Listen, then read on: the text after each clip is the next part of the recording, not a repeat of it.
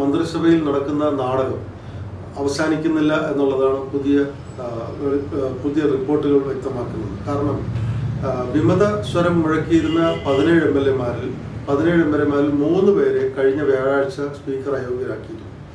തുടർന്ന് പുതുതായി യെദ്യൂരപ്പയുടെ നേതൃത്വത്തിൽ ബി ജെ പി യെദ്യൂരപ്പയുടെ നേതൃത്വത്തിൽ രൂപീകരിച്ച മന്ത്രിസഭ തിങ്കളാഴ്ച വിശ്വാസ വോട്ടെടുപ്പ് നേടാനിരിക്കെ.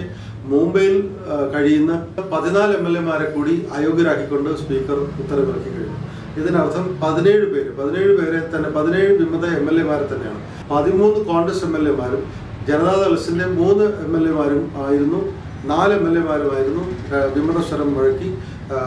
കോൺഗ്രസ് ദൾ സഖ്യത്തിന്റെ മന്ത്രിസഭയെ താഴെ ഇളക്കാൻ മുന്നിട്ട് നിന്നത്. ഇതിൽ പതിനാല് പേര് ഇപ്പോഴും ബോംബെയിലാണ് ഹോട്ടലിൽ കഴിയുകയാണ്. അവർ നാളെ വിശ്വാസ വോട്ടെടുപ്പിന് വന്നേക്കും എന്നുള്ള പ്രതീക്ഷയിലായിരിക്കെ ആണ് സ്പീക്കർ അവരെ കൂടെ അയോഗ്യരാക്കിയിരിക്കുന്നത്. അങ്ങനെ പതിനാല് പ്ലസ് മൂന്ന് ദളിന്റെ മൂന്ന് പേരും കോൺഗ്രസിന്റെ പതിനാല് പേരെയും കൂടെ സ്പീക്കർ പതിനേഴ് പേര് മൊത്തത്തിൽ പതിനേഴ് പേരെ അയോഗ്യരാക്കിയിരിക്കുന്നു. ഈ സാഹചര്യം വേറൊരർത്ഥത്തിൽ യെഡിയൂരപ്പയ്ക്കും ബി ജെ പിക്ക് വിശ്വാസ വോട്ടെടുപ്പ് നേടുന്നതിന് സഹായിക്കും എന്നാണ് രാഷ്ട്രീയമായി ചിന്തിക്കുന്നവർ വിലയിരുത്തുന്നത്. കാരണം അവിടെ മൊത്തത്തിലുള്ള സീറ്റ് എന്ന് പറയുന്നത് എം എൽ എമാരുടെ എണ്ണം എന്ന് പറയുന്നത് ഇരുന്നൂറ്റി ഇരുപത്തിനാലാണ് അതിൽ പതിനേഴ് പേര് അയോഗ്യരാക്കി. അത് കോൺഗ്രസിന് നേരത്തെ യഥാർത്ഥത്തിൽ നൂറ്റി പത് പതിനേഴ് പേര് ഉണ്ടായിരുന്നു. ബി ജെ പിക്ക് നൂറ്റി ഏഴ് പേരുണ്ടായിരുന്നു ഇപ്പോഴും ബി ജെ പിക്ക് ആ നൂറ്റിയേഴ് പേരുടെ പിന്തുണയുണ്ടെന്നാണ് കണക്കുകൂട്ടൽ. അതിൽ പക്ഷേ വിമതരായിട്ടുള്ളവർ ആർക്ക് ആർക്കും തന്നെ ഇപ്പോൾ അയോഗ്യരാക്കിയ സ്ഥിതിക്ക് നാളെ നടക്കുന്ന വിശ്വാസ വോട്ടെടുപ്പിൽ അല്ലെങ്കിൽ തിങ്കളാഴ്ച നടക്കുന്ന വിശ്വാസ വോട്ടെടുപ്പിൽ പങ്കെടുക്കാൻ കഴിയില്ലെന്നും അപ്പോൾ തന്നെ യെദ്യൂരപ്പയ്ക്ക് സർക്കാരിന് വിശ്വാസ വോട്ടെടുപ്പ് നേടാൻ സാധിക്കും എന്ന് പറയുന്നു. പക്ഷേ കോൺഗ്രസും ദളും ഇപ്പോഴും അത്തരത്തിലൊരു വിശ്വാസത്തിൽ നിൽക്കുന്നില്ല. അവർ ബി ജെ പി ക്യാമ്പിൽ നിന്നും ബി ജെ പി അംഗങ്ങളെ ബി ജെ പി എം എൽ എമാരെ തന്നെ നോട്ടമിട്ടിരിക്കുകയാണ്.